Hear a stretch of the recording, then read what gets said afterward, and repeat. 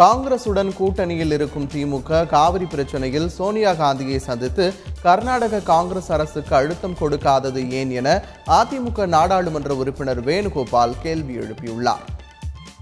வந்து அதிமுக அழுத்தம் கொடுக்க வேண்டும் என்று சொல்கிறார்கள். நாங்கள் ஏன் அழுத்தம் கொடுக்க வேண்டும்?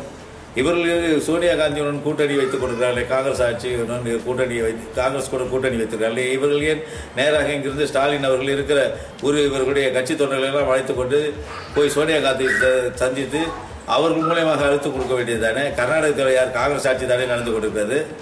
இதையே அவர் தவறிவிட்டார்? இங்கே இருக்கிற திருநாவுக்கரசு ஏன் சோனியா காந்தியை சந்தித்து அவர்களுக்கு அழுத்தம் கொடுத்துருக்கக்கூடாது முழுக்க முழுக்க அதிமுக மீது வீண் பழியை சுமத்தி கொண்டிருக்கிறார்கள். இந்த ஆர்ப்பாட்டமானது ஒரு நாடகம் தான் என்பதை இந்த நேரத்தில் நான் தெளிவுபடுத்த உங்களுக்கு தெளிவுபடுத்த விரும்புகிறேன்.